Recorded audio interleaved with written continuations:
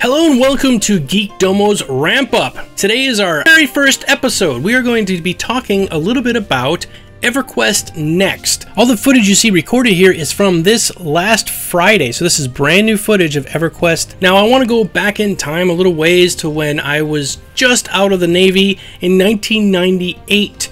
I was playing a game called Ultima Online. And about the end of the time I was playing that game, I got a little bit bored. I started seeing stuff for EverQuest coming out. And at the time, video cards, 3D video cards were pretty rare. I think I had a Canopus 3D FX video card in those days.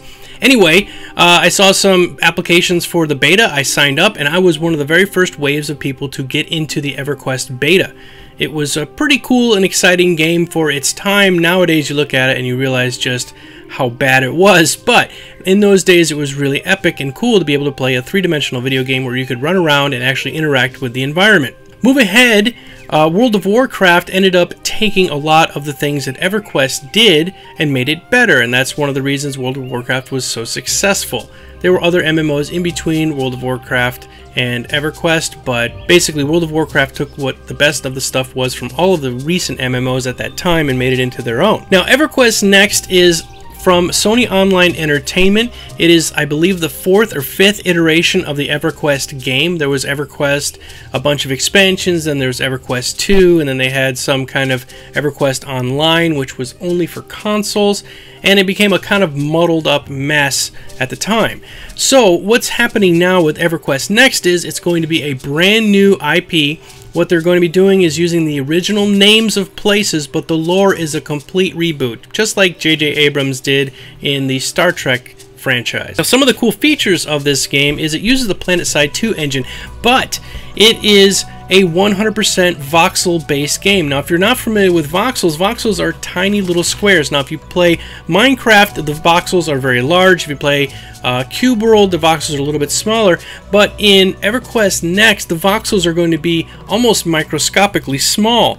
Now, it takes a lot of video horsepower to render this, and I'm kind of curious to see how they're going to do that. But ultimately, what it means is the game is built through complete three dimensions, not just a surface. So, like when you're watching a character run around, and we'll have some on the screen right now of EverQuest Next, when normally you see a character running around, it's running on a surface plane that's a texture laying on top of a flat piece of ground. In a voxel-based game, it's actually three-dimensional. You could technically take an axe and chip away at the ground and you could dig a hole. That's why Minecraft works, right? If you play Minecraft, you know that you can dig down inside of a, of a three-dimensional sphere until you get far enough to where you can't go any farther down. So this one is using the PlanetSide 2 engine, but it is also a voxel-based game, which I don't believe PlanetSide 2 is, so I'm kind of curious to see how they're going to merge the engines together. Some of the features of EverQuest Next that are specifically new are their totally redoing the characters. The characters are now very Disney-like, and why would they do that? Well, not that they're trying to rip off Disney, but when you stand far away from a Disney character, or even if you're watching a movie and you're in the last row, you can easily see the characters' emotes on the screen. That's why Disney does that. The eyes are really big and the eyelids go up and down, and uh, the mouth is a big smiley grin, and the nose is a little bit larger, a little bit more caricature of the real face. And that's because it makes it easy to see emotes.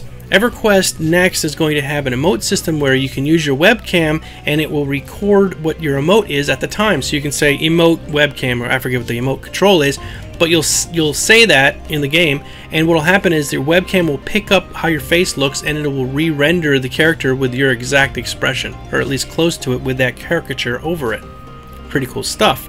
The other things that you're going to have are parkour type movement, meaning that uh, if you're familiar with parkour, it's where you're running and jumping through an urban environment, and I'll show you some video of that. Actually, probably by now you've seen a bunch of that in the background, but we'll go ahead and show you some more of that. And uh, the characters will be able to interact with the environment as they're moving. Now, the only game I've seen recently that did that was a game called Guild Wars 2, which some of you might know about. Guild Wars, if you're standing on a hill, your character's one leg was higher than the other one, and if it was running up a hill, it actually was leaning forward like it would be in real life. So they're going to be doing that. Now, some of the things they actually did steal from other games, which is totally fine. I think in the massively multiplayer online role-playing game, MMORPG, thing of the day is actually to steal.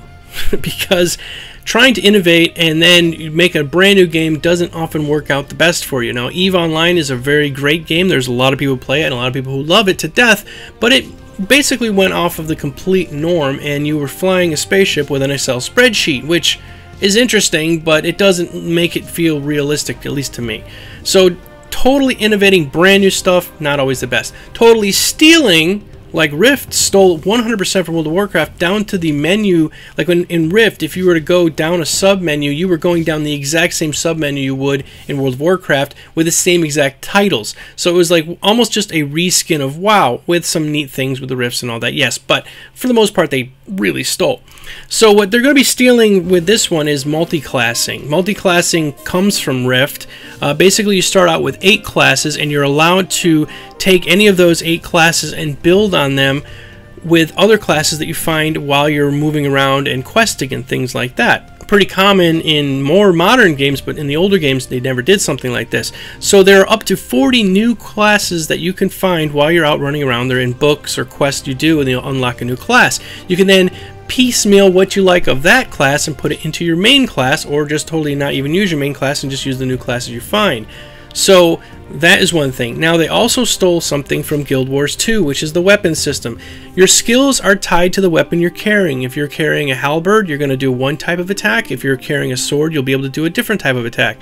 Mix that with the different types of classes, it's almost an infinite character system, which is pretty darn cool. Another innovation that's actually from Guild Wars 2 is the destructibility. Now, other games have had some sort of level of destructibility, but Guild Wars was the first one where if you were doing PvP out in the WVW area and you knocked down a castle wall, the wall fell down, and you could actually run in through the hole that you made with your trebuchet or whatever.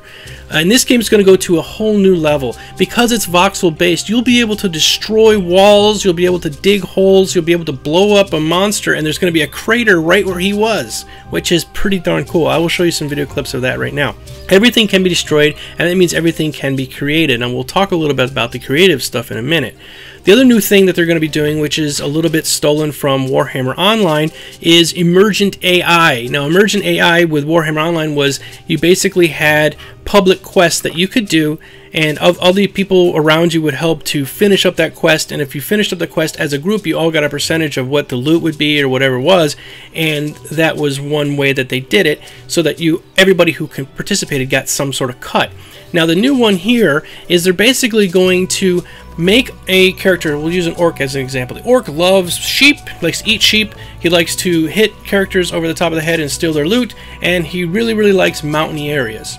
They're going to literally generate orcs and drop them in the world in random locations, and the orcs will migrate to those type of things. If there's an area where there's sheep, it will try to migrate to that area. If enough of them migrate to that area, they will set up a camp and they will try to go out and raid the sheep and stuff. They migrate to an area that has nothing but rocks, they will go there and they will build up their tents and stuff in that particular area. So basically the way this AI works is the artificial intelligence is completely reactive to the environment and they're building it that way. On top of that, they have public quests. So you are, as an entire server, will be building a brand new town, say. And when you're building this new town, you're going to be doing some sub quests that might unlock the next phase, but you're not sure. And each time they generate this particular public quest, the triggers are 100% randomized, meaning that on one server it took this to get it to do it, on another server it took this other thing to get it to do it, and therefore nobody will be able to even know what exactly triggers it on every single server, which is going to be quite interesting. The uh, next thing that is really cool about this is this is all of the worlds are going to be procedurally generated. So uh, if you watch some of my other videos on Cube World, you'll see that we are covering procedurally generated worlds such as Cube World, Minecraft, which are generated on the fly. When you run long enough in any one direction, it never ends. And that's the way that this world is going to be. They're going to have areas that are sort of pre-built and of course, you know, like Qeynos and and the common lands, wherever it is that you're running around through, uh, will be set up already and they'll be there. But if you run long enough, you'll hit the ocean. And if you swam long enough, you might hit another continent. And if you run on that continent, you'll just keep going and going and going. So the procedurally generated worlds are nice. But the cool part about this whole thing is the procedurally generated worlds are in three dimensions, meaning that you can go down as far as you want to until you hit lava. So that's pretty darn cool. Which brings us to another point. uh, there's going to be what's called permanent change. So if you have a main town that the walls get knocked down, they might regenerate because otherwise it kind of screws up how you walk in and out of the town. But if you're out in an area that is more like wild jungle and you knock down trees, the trees might stay down forever. Or you might be able to plant a tree and that tree will grow and that'll stay there forever. The servers are supposed to be dynamic and they constantly change with whatever is implemented on them. Alright, so on top of all of that, there is one thing that's going to be released this year, and that's why we're covering this all right now. EverQuest Next might be coming out in the next six months. Probably not. It's probably coming out closer to a year to two years down the road. But one thing that is coming out this fall, or this winter, I'm sorry, is EQ Next Landmark. Now, so what? It's like a sub game? No, it's actually going to be EverQuest Next, but there won't be any mobs, there won't be any uh, quests to do or anything like that. Why bother? Because they're going to use the procedurally generated world and you will be able to go there, take your pick, dig holes, mine minerals, build your own castle, and then take that castle and sell it. You can sell your stuff for real money. If you decide that your castle is just absolutely amazing, you can put it up on the uh, EverQuest Next store, and people can buy your castle for five bucks or whatever. You will get uh, 4.99 or whatever. Uh, EverQuest will take a cut of it, of course, but you'll get a, a portion of that money back for you to have forever. Now, say you design something like a wagon, and the wagon is just like a little thing that people can put around, and you're going to charge 10 cents for the wagon or 20 cents. Now, say somebody then takes and builds an entire city, and they include your wagon like three places. You will get paid a portion of the cost to purchase that city. You'll get a cut of it. And if that person who built that city it took elements from 25 different people, all 25 people are going to get a cut of the cost of to buy that entire city. EverQuest Landmark, basically you'll be able to build your own house and put it into EverQuest later on, which is pretty cool. But ultimately, the real cool part about this is this. Uh, say the developers go, you know what, we need a cathedral. And you're an amazing builder, you can build some awesome stuff in EverQuest Next. You can then build your cathedral, and they will put it up on a website where everyone will get to vote whether or not they like that cathedral versus everybody else who built a cathedral. Once that is done, the voting is done, and the EverQuest, you win that competition, that cathedral will be placed somewhere in the game permanently forever after launch. That is really epic. So you really can ultimately change the way this game is played, even the way it looks. Alright, so that's enough about this right now. As more information comes out, I will be updating. That is the entire purpose of this show. We are covering EverQuest Next right now. We will cover other games as we get going. When that happens, I will update people with whatever changes are coming. Even if it's as low as a screenshot. Say, hey everybody, this is a new screenshot. Check it out for EverQuest Next or whatever game we're covering at the time. And even five months from now, I will still come back to EverQuest Next and tell you about what changes are coming as we get them in. Alright, thanks a lot for watching, everybody. This has been Geek Domo. Until next time, see ya! Oh my god, there's some skeletons coming at us. You serious? Skeletons. Nice. Not, not, not zombies.